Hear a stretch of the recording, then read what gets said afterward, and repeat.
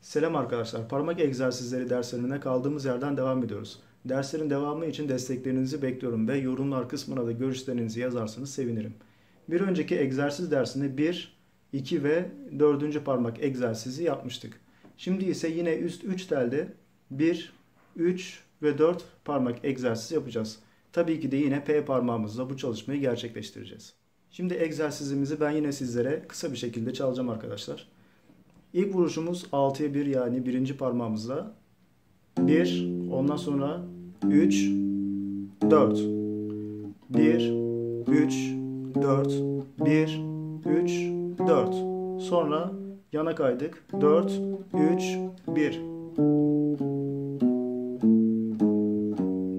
Şimdi yine yana kayacağız. 1, 3, 4,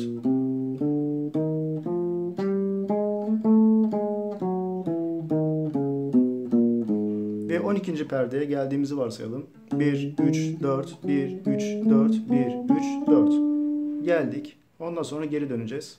4, 3, 1, 4, 3, 1.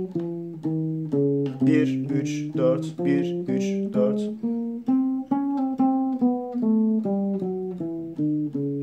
Bu şekilde bütün perdelerde egzersizi yaptık. Sonra geldik yine.